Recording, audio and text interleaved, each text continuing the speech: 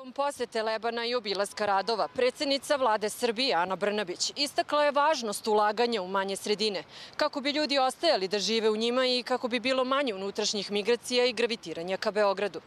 Posle obilaska radova na izgradnji centra za posetioce Caričin grad u Lebanu, premijerka je istakla da ljudi treba da vide šansu za stvaranje porodice i njihov individualni rast u manjim sredinama. Ovakvi projekti su od, od neverovatnog značaja. Zaista, ja sam recimo juče gledala jednu reportažu, mislim da je to bilo glas zapadne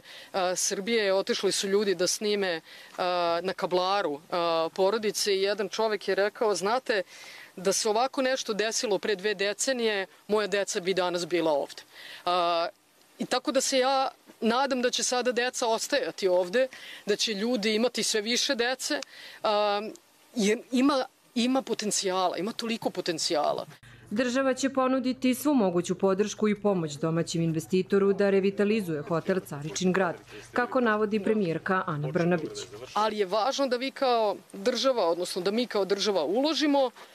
i da onda tu otvorite dodatnih 30 radnih mesta u hotelu, da otvorite dodatnih 5 radnih mesta ovde u ovom vizitorskom centru, da otvorite dodatnih 10 radnih mesta u regionalnom inovacijonom start-up centru u Leskovcu, ali takođe da tu svake godine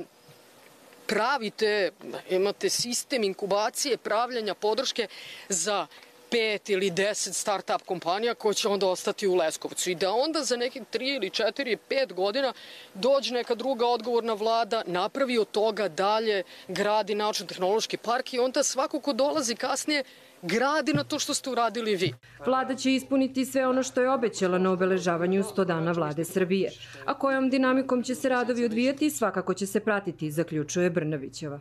Do kraja ove godine biće završen put preko Radan planine i to je investicija od 1,8 milijardi dinara, a samo u Caričin grad biće uloženo više od 3 miliona evra u ovoj početnoj fazi, poručila je predsednica vlade Srbije Ana Brnabić. Za Sahar televiziju iz Beograda Jovana Miladinović.